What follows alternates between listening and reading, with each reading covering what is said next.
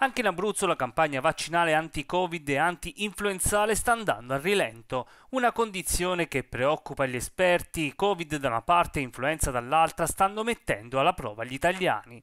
Ma sarà ancora più problematico nelle prossime settimane visto che proprio in corrispondenza del Natale è atteso un doppio picco di contagi. Sia il virus SARS-CoV-2 che quello influenzale raggiungeranno il culmine della velocità. Per questo motivo il direttore generale dell'ASRI di Teramo, Maurizio Igiosia, torna a ribadire l'importanza del vaccino e annuncia nuovi Open Day.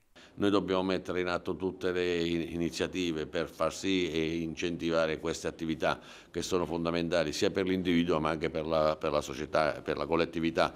Eh, dopo sta la, siccome non sono vaccini obbligatori, sta la coscienza di ognuno di noi eh, mettere in atto un comportamento adeguato per anche la situazione che si sta eh, creando, cioè non è che siamo ai livelli di pandemia, assolutamente, questo ringraziando Dio va tutto bene, però siccome c'è una recrudescenza del fenomeno anche a livello di ricoveri è giusto che tutte le attività di precauzione vengono messe in atto e noi ci dobbiamo attivare per questo. Per venire incontro agli utenti delle zone interne, la ASL di Teramo ha messo in campo tre giornate dedicate alle vaccinazioni anti-Covid e anti-influenzale, questo al distretto sanitario di base di Montorio. Gli appuntamenti oltre alla giornata di oggi saranno mercoledì 13 e mercoledì 20 dicembre. Le vaccinazioni, ricordiamo, saranno libere da prenotazioni. I cittadini potranno recarsi senza appuntamento e potranno essere immunizzati immunizzati. Abbiamo fatto questa attività a Montorio perché tutta la zona montana era stata esclusa, cioè i vaccini venivano fatti a Casarene e un po' in tutti gli altri distretti della costa. Eh. L'entroterra è rimasto escluso, allora abbiamo dato un segnale anche all'entroterra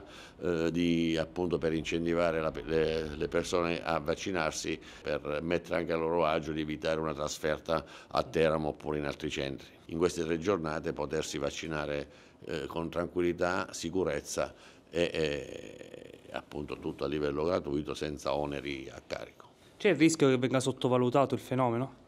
Beh, il fenomeno fino adesso è stato un po' sottovalutato. Noi possiamo dare dei consigli, dopo sta a, a ogni cittadino eh, comportarsi di conseguenza.